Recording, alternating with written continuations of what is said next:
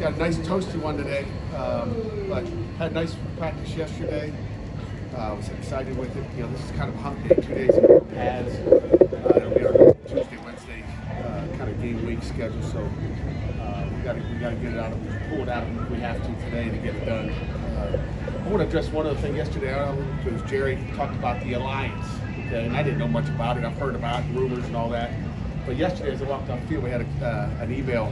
Um, from uh, Heather Lyke and got all the head coaches together, really just to inform us on what it is. It's the first time we really ever talked about it as a staff. So, um, you know, when you get you know informed on really what it is, it's a it's kind of a team thing. It's you know it's like we focus here. It's it's a, you know a few conferences getting together. You know, 41 schools total getting together and, and just kind of you know like-mindedness uh, of, of hey, this is who we are. This is this is our values and I think it's a, it's a great thing, and it's really sticking together and not falling apart.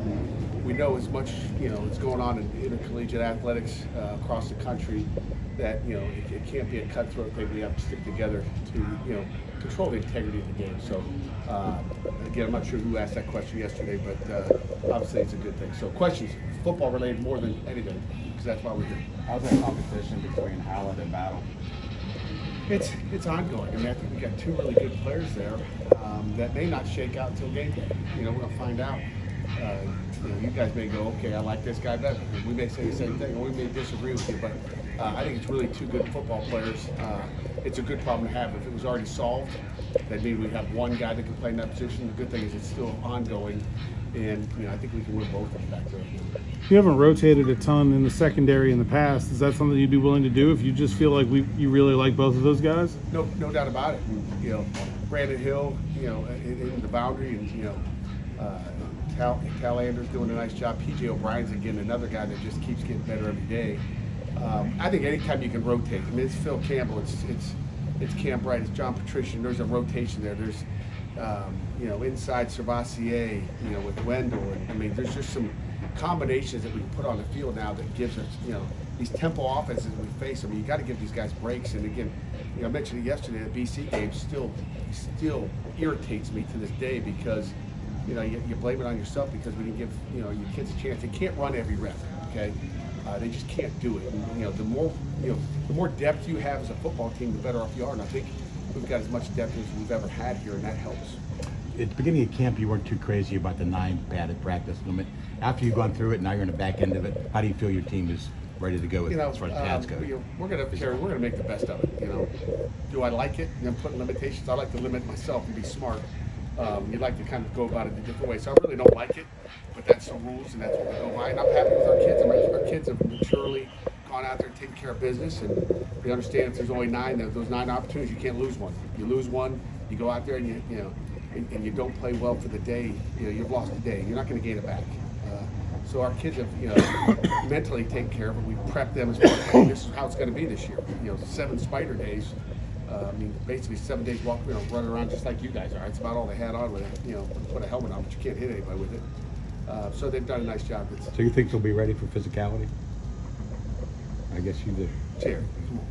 Well, we're going to be physical. There's no doubt about it. Uh, you mentioned Sebastian in the middle. Is that where he's primarily working? No, he's done both. I think he can play all three of them. He's played in the boundary with Phil. I mean, so there's a combination there that you know they're going to have to deal with him wherever it is. And like I said, there's, there's competition there. It's going to come down really game week, how guys you know practice and and uh, get the game plan and how they fit into what that style of offense is defensively. At linebacker is more about finding where everybody fits in as opposed to who needs to fit in. No, I think it's you know more the who than the where. I mean, we know where the where is. We know where they're going to play. We know what they can play. Uh, we know the strengths. We know the weaknesses. It's going to be you know who's going to play when, and that's going to come down to game week when you set the depth chart. You know, practice next Tuesday, and, you know, which is a game week Tuesday. We'll, we'll see how the guys you know you know work into the game plan. Who plays well? You come out, you you're not ready to practice, then you know it's going to be tough for you to, to play on game day. At least start on game day. Yeah, we heard from uh, Trey Tipton yesterday. Outside of you know his development on the football field, what have you seen from him as far as just kind of like the man that he's become in his time since joining you know his program? Yeah, Trey's you know Trey's an incredible success. You know, and uh, you know I told you about you know his success last Saturday or Sunday in the scrimmage, but the successes he have to, has off the field, you can't measure. I mean, the, the, the measuring stick is not big enough to measure what that guy has overcome, adversity, all the details there. Um, and, you know, um, it's just, it's amazing what he's gone through, the things he's survived when, you know, a lot of kids would have just, you know, hung, hung their cleats up and said, I'm done, uh, with not only his injuries, but the off the field stuff. So, uh, coming all the way down to his, you know, his, his, mother, Kim, I mean, it's just, that guy's been through a lot. And, uh, it's, it's, and it, again, as a coach, and we, you know, we always want to win football games, but there's a lot of things, there's real life situations out there that you, you feel like at times you, you, know, you help save kids' lives.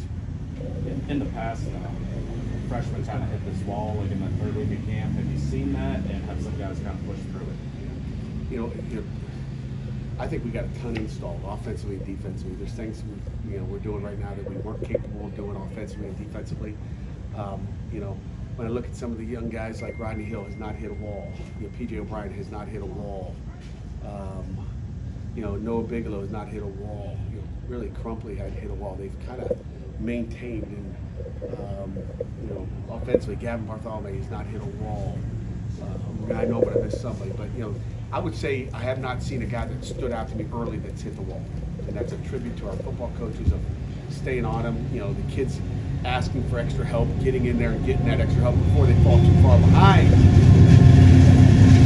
back to the linebackers, um, you on that and that really taking charge of like defense in the middle and on the outside.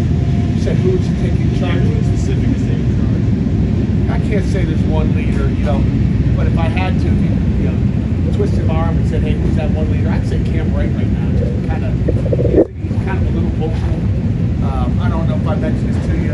Um, you know, there was a period the other day we did a three on three, and you know he's getting you know blocked by two receivers that are throwing bubbles and just trying to work how do we play off those blocks and preparing for all that quick game we get outside. I mean, you know, he wasn't real happy with the drill, and he destroyed drill. It's kind of like, you know, just the tempo that, you know, uh, what was going on there. He just like, you know, got after the offense real bad on that one play. And again, just that leadership. That's you know, by example, Cam Bright stepping up and um, in, in a situation where you need him to. And I think that's a guy that can be a vocal leader. How's Khalil Anderson doing? Khalil's doing well. Khalil's, you know, Khalil's, you know, a great player.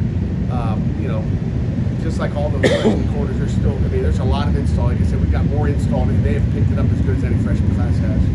What's your confidence level in Nick Patti right now? I got a lot of confidence in Nick. I mean, Nick's practice. I don't know if I said this to you in the spring or whatever. Just his lack of practice a year ago with COVID and being traced out, I think twice, and then having it himself um, at one point, I believe. I mean, he just missed a lot of practice, and, and uh, we got a lot of confidence in what he can do, and you know, his leadership skills with the offense stands out the most. Can you force Would he- leadership? I mean, can you, if, if you're lacking in the leadership department, can you get a guy to become a leader, or is that just a naturally born? It's a, it, you can develop it, okay, but it's not going to happen overnight. Like, you know, go the block and say, hey, I need you to be a leader. It's not going to happen overnight, but it's something you can develop through time. Know, we got leadership meetings. We got, you know, all of our things that we do as far as team building and, you know, those types of things. So we try to build it. You know, we have our Eagles, and we try to, you know, have, you know, a couple freshmen there, you know, every class. So we try to um, make sure we're trying to develop it as best we can. But in the end, you're either going to try to do it or you're not. All right, guys. Thank you.